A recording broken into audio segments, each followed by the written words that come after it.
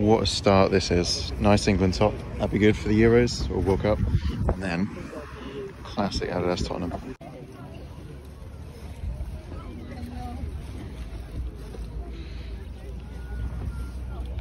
Okay, a few more bits I didn't get to show you. Starting off with this, it is 1999 Dr. Evil, uh, made in the USA, which is really cool. Big old graphic. I shall call him Mini Me. Um, Austin Powers tee, very cool. Little bit of embroidery on the back there as well. This was a pound. In fact, all of these are a quid. This is sick. Super nice. Uh, 90s Tiger Woods striped Nike Polo. Very cool. Um, this one's sort of skatery. I guess Boxfresh. I don't know if it's a 90s or early 2000s brand. Looking at that tag, probably 90s. But really nice beige color with little print. Um, never heard of the brand before, but should get maybe 15. And then just a quite nice striped Henry Lloyd one. I don't normally go for these because they just sit, but I thought the color on this was pretty good. So yeah. Very cool. Old Beavis and Butthead, 1995, dead stock.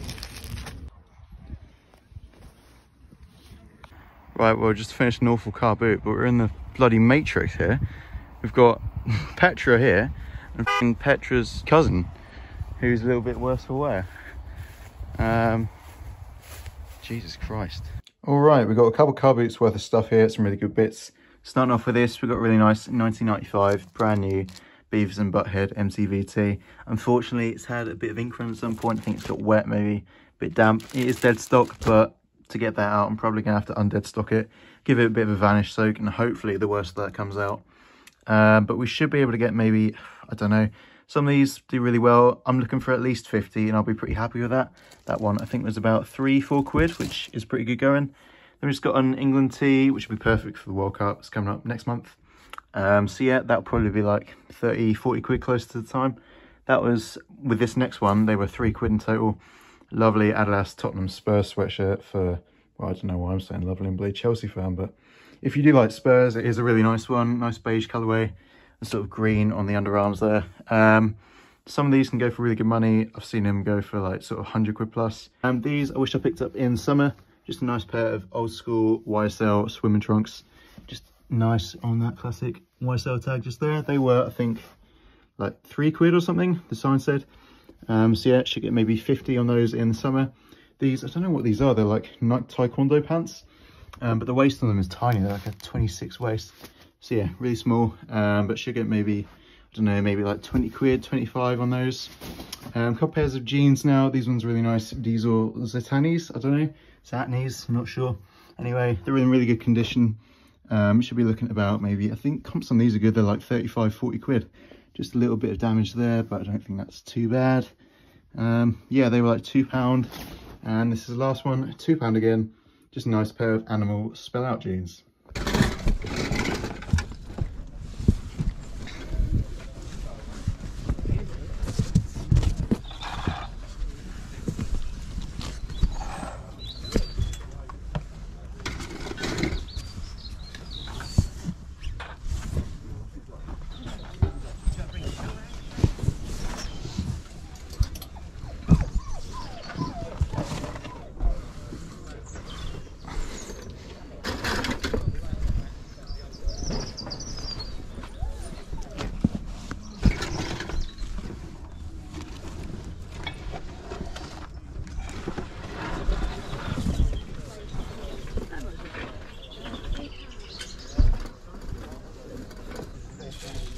Where'd you even get all these from, mate? There's bloody loads here. I've been a uh, garment decorator since I left school. Oh, yeah. I work in life now. Oh, right. Screen printer by trade, mate. Oh, awesome. Yeah, so that's my personal collection, pretty much. Oh, yeah. Of it. Okay, fair enough.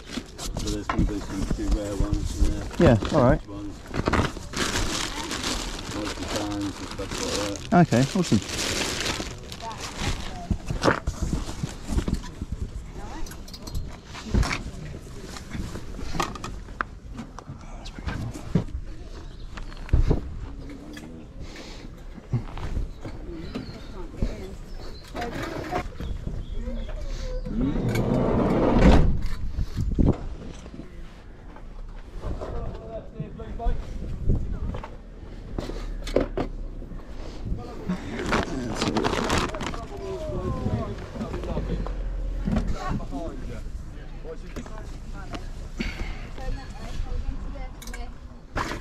Yeah.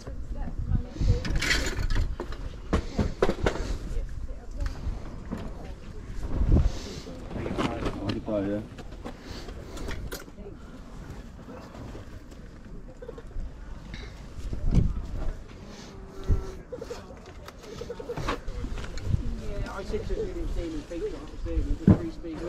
Yeah. Well, the lights are Yeah, but there.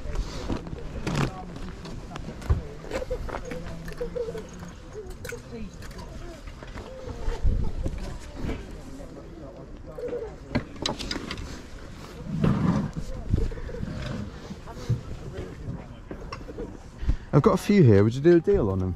Do you know how many I've picked up? Yeah. Yeah. Yeah. No, like the comforts are. They are really nice. This is the Dell. Yeah, yeah. You that one? Yeah, I'm afraid. Sorry. Subs. Yeah. Yeah. There's a few more in there, yeah. What's that, buddy? I got some, so I got five that are fine, and these four I got quite a few marks. Yeah, those ones I'll just do them for like two quid or something. Two quid each, yeah, Uh, so- not each. No, I'll do it just for two quid. Oh, those just- lot, oh, okay, yeah, Those cheers, mate. Five each. Five each, Yeah. okay. So Um, and count how many there are. yeah, yeah, there, there's five. I'll count them in front of you, but one, two, three, four, five. 27. Okay, 27. Time, mate. Nice. Good job. Cheers. Thank you, and you.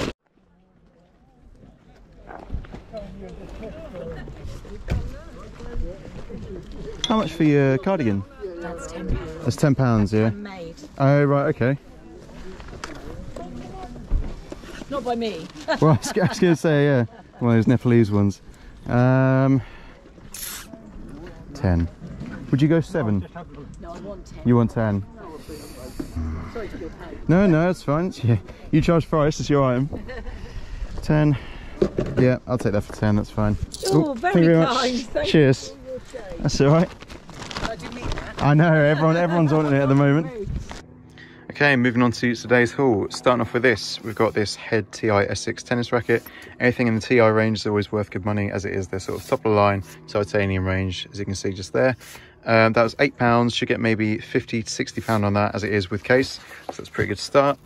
Then you've just got a pair of simple Air Force Ones, UK size 8, so that's a good size. They were a little bit battered, but just a little bit clean, and probably get maybe 35 to 40 on those.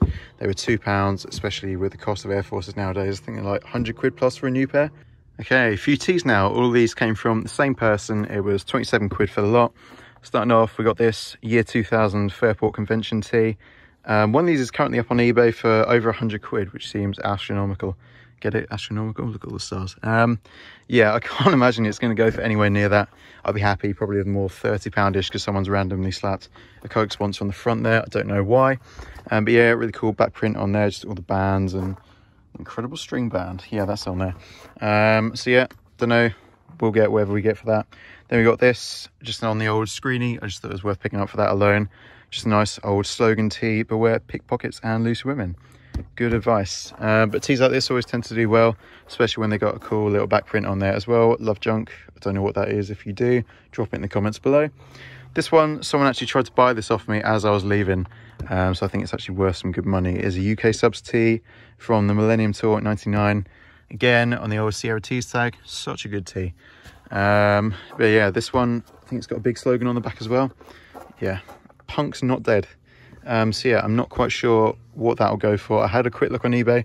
Some of the stuff is going for really good money. I'm not too sure. I'll have a look. Um, but yeah, I'll post that somewhere there maybe. Um, then we've got this lovely 99 Rugby World Cup tee. Lovely Coke sponsor on the front there. Um, I think it's 99 anyway. Yeah, you can see. Um, really nice, crisp, good condition. And then on the back, I don't. Oh, thumb. What is that? Someone's just put Homer with a red mohawk. Um, and it says Amp Stradivarius, which doesn't even mean anything.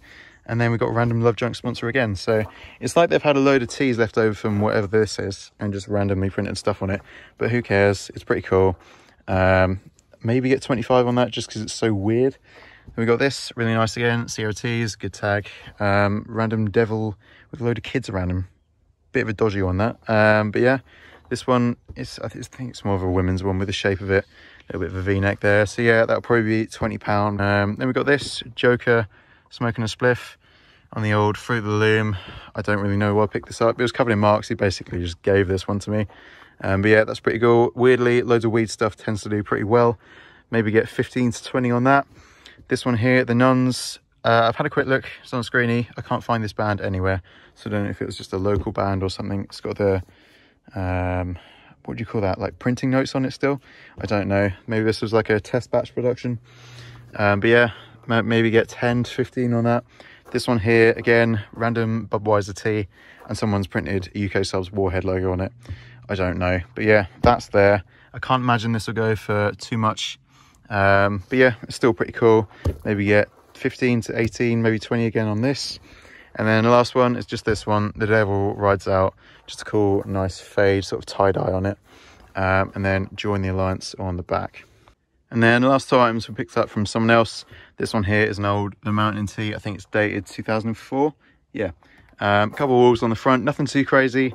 Might get maybe £15 on that, but that one was a quid. And this one here is a lovely Pachamama cardigan with hearts all over it. Always, always look out for that tag. It's worth really good money. I did pay up. It was £10, but you're looking at about 125, maybe even up to 150 all day, every day on these. So yeah, that wraps up today's video. Thank you guys as always for watching. If you can like and subscribe, that'd be greatly appreciated. And yeah, I'll see you in the next video. Peace.